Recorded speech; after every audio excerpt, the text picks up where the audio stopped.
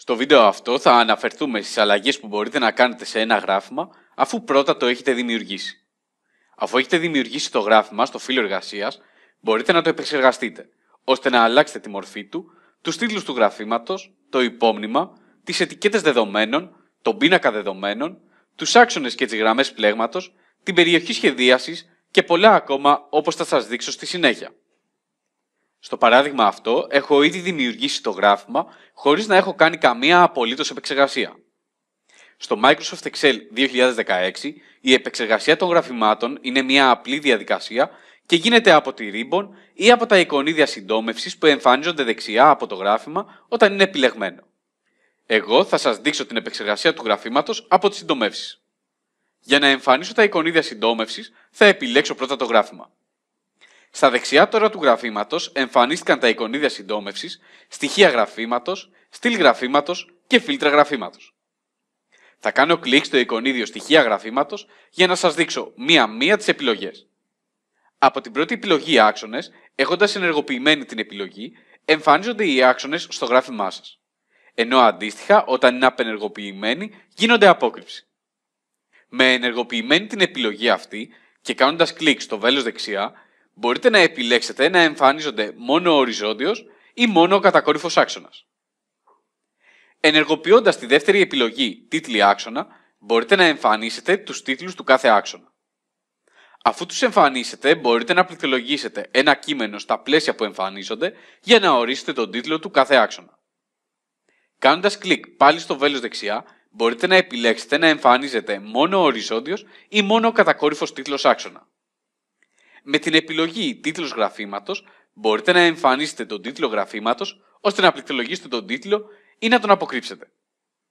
Με ενεργοποιημένη την επιλογή αυτή και κάνοντας κλικ στο βέλος δεξιά μπορείτε να επιλέξετε εάν θα εμφανίζεται πάνω από το γράφημα ή εάν θα είναι κεντραρισμένο σε υπέρθεση.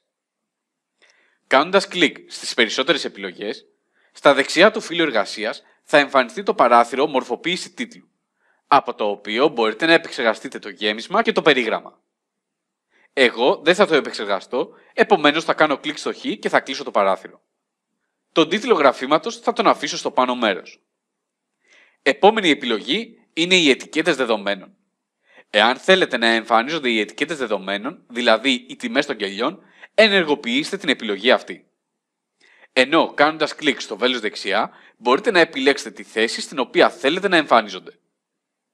Εγώ θα απενεργοποιήσω την επιλογή αυτή, ώστε να μην εμφανίζονται οι ετικέτες στο γράφημα. Ενεργοποιώντας την επιλογή πίνακας δεδομένων, μπορείτε να εμφανίσετε τον πίνακα των δεδομένων μέσα στο γράφημα.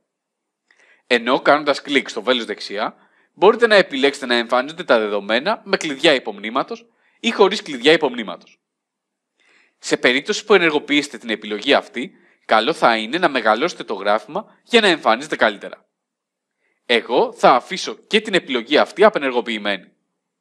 Στο γράφημα έχετε τη δυνατότητα να εμφανίσετε και τις γραμμές φάλματος ενεργοποιώντας την επιλογή γραμμές φάλματος. Παρατηρήστε ότι μόλις την ενεργοποίησα εμφανίστηκαν οι γραμμές φάλματος σε κάθε στήλη.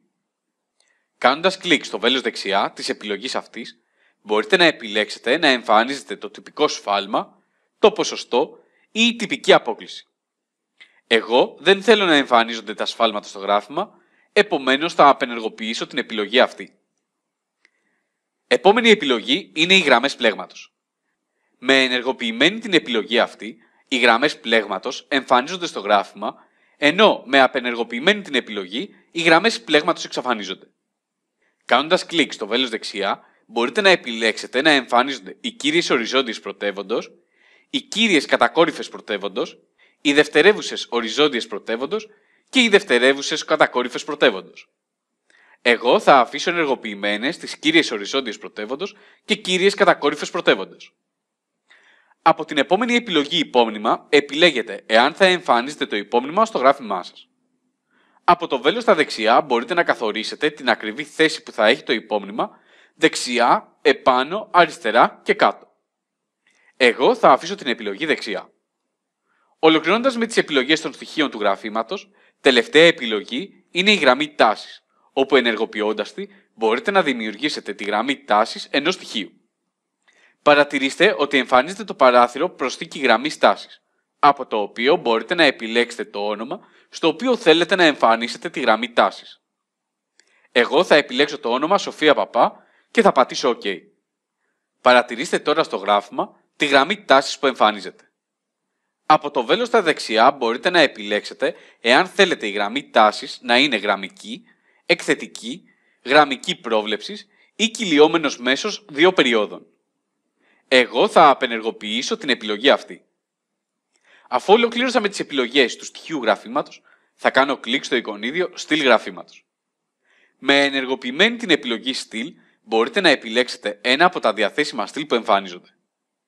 Αφήνοντας το ποντίκι πάνω στα διαθέσιμα στυλ, μπορείτε να δείτε στην προεπισκόπηση το πώς θα εμφανίζεται το γράφημα. Κάνοντας κλικ στην επιλογή χρώμα, μπορείτε να επιλέξετε ένα από τα διαθέσιμα στυλ χρώματος που εμφανίζονται, είτε πολύχρωμο είτε μονοχρωματικό. Για να αλλάξετε το χρώμα μόνο σε μία στήλη, αρκεί να την επιλέξετε, να κάνετε δεξί κλικ πάνω σε αυτή και από τις επιλογές που εμφανίζονται να επιλέξετε μορφοποίηση σειράς δεδομένων. Από το παράθυρο μορφοποίηση σειράς που εμφανίζεται στα δεξιά, επιλέξτε γέμισμα και γραμμή και αναπτύξτε τις επιλογές γέμισμα. Κάνοντας κλικ στο εικονίδιο χρώμα γεμίσματος, μπορείτε να επιλέξετε όποιο χρώμα θέλετε για τη σειρά. Γενικά, όποια μορφοποίηση θέλετε να κάνετε, είτε για τον τίτλο γραφήματος, είτε για τις ετικέτες κτλ., εμφανίστε το παράθυρο μορφοποίησης. Ολοκληρώνοντας με το μάθημα αυτό, θα σας δείξω τον τρόπο με τον οποίο μπορείτε να αλλάξετε την επιλογή που έχετε κάνει. Θα κάνω κλικ στο τελευταίο εικονίδιο φίλτρα γραφήματο. Και αμέσως θα εμφανιστούν οι σειρές και οι κατηγορίες που υπάρχουν στο γράφημα. Αφήνοντας το ποντίκι πάνω σε αυτές, παρατηρήστε στο φύλλο εργασίας ότι σε προεπισκόπηση εμφανίζονται τα δεδομένα που ανήκουν στη σειρά. Για να αλλάξω την επιλογή σειράς, θα κάνω κλικ στο εικονίδιο Επεξεργασία σειράς. Παρατηρήστε ότι εμφανίζεται το παράθυρο Επεξεργασία σειράς, όπου από το πεδίο Όνομα σειράς μπορώ να επιλέξω το κελί για το νέο όνομα και από το πεδίο Τιμές σειράς μπορώ να επιλέξω τα κελιά για τα δεδομένα της σειράς. Θα κάνω κλικ στο βέλος δεξιά από το πεδίο όνομα σειράς και θα επιλέξω για παράδειγμα το κελί Σοφία Παπά και θα πατήσω Enter. Για να αλλάξω τις τιμές σειράς, θα κάνω κλικ στο βέλος δεξιά από το πεδίο τιμές σειράς και θα επιλέξω τα δεδομένα της νέας σειράς και θα πατήσω Enter. Παρατηρήστε ότι το γράφημα άλλαξε σύμφωνα με τα νέα δεδομένα που επέλεξα. Θα πατήσω OK για να αποδεχτώ τα δεδομένα και να κλείσω το παράθυρο. Πειραματιστείτε τώρα και εσείς με όλες τις επιλογές επεξεργασίας ενός γραφήματος και να θυμάστε ότι όλες αυτές τις αλλαγές μπορείτε να τις κάνετε και από την καρτέλα σχεδίαση της Κορδέλας Ribbon.